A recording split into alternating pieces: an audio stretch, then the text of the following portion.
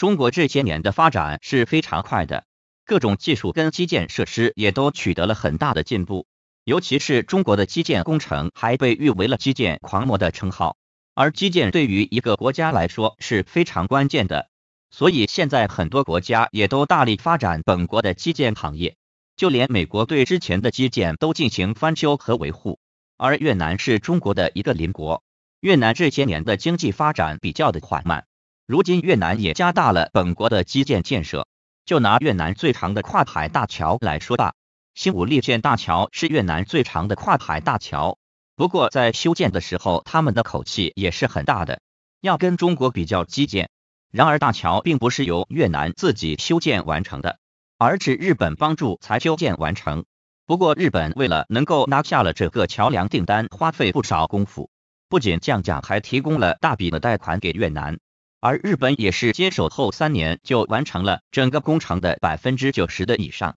桥梁的主题也建设完毕。但好景不长，这座大桥没到三天就打脸了。经过检测发现，这座大桥不仅部分路面平整度不达标，在桥梁契合度上也有很大的问题。这个下可让越南人们傻了眼，没有想到日本花费这么大劲拿到的订单，在修建方面就这么不给力。起初，越南施工队对大桥进行修建，但是仍然是事故频发。无奈之下，又再次找到日本，而日本也答应对该大桥的建造施工退还百分之二十的资金。对于日本的技术，大家该怎么看呢？